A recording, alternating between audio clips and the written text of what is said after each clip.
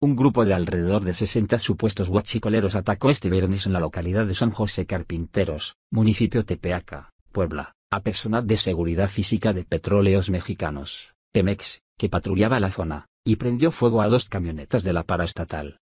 Lo anterior, saldó en la detención de cinco personas, informó el secretario de Seguridad Pública de Puebla, Manuel Alonso García.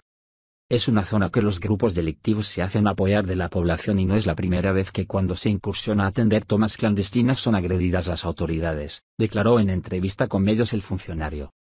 Los miembros de Pemex transitaban por el poliducto Minatitlán, México, ubicado en terrenos de cultivo a la altura del kilómetro 156 de la autopista Puebla-Orizaba, y fueron agredidos con piedras y palos por presuntos huachicoleros.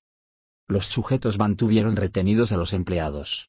En su auxilio, arribaron elementos del ejército mexicano y de la Guardia Nacional, GN, quienes rescataron a los trabajadores de la petrolera, sin embargo, también fueron agredidos militares desplegaron un operativo en San José Carpinteros, y en la zona de Tepeaca sobrevoló un helicóptero del Ejército Nacional.